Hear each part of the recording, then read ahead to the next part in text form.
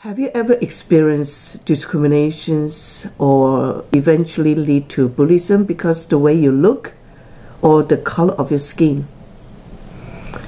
Allow me to share with you my experience.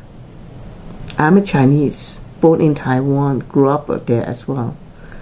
In the Chinese community, the normal beauty standard is the, for girls.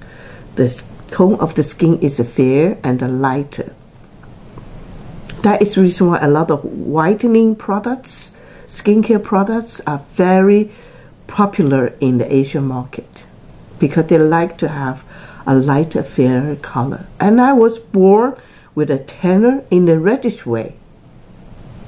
So imagine that how I was teased and uh, bullied in the school because the tone of my skin.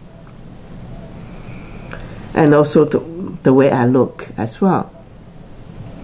Instead of arguing with them, complaining to my parents, I chose silent. How do I do it?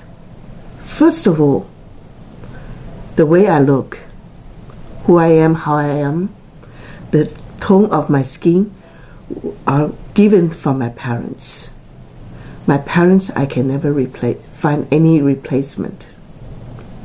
I don't want to have replacement as well. I love them because I respect and I love my parents.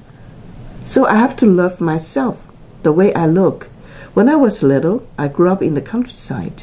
I always liked to play outside with the umbrella or the the mat, the hat. Okay, so my skin get tanner. So instead of trying to make my skin look whiter, no, it does not work with me. So why should I bother by those so-called beauty standards? I learned to ignore them. I look straight, not look up. Certainly don't keep my head down.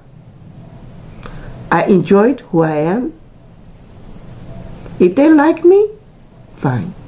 If they don't like me, that's okay because those people who like me have chance to become my friends. People who discriminated me, even tried to bully me, I never let them come close to me. I keep away from them because they are not important. So remember, there's no way for us to change the world, but we can change ourselves by believing in self and love ourselves.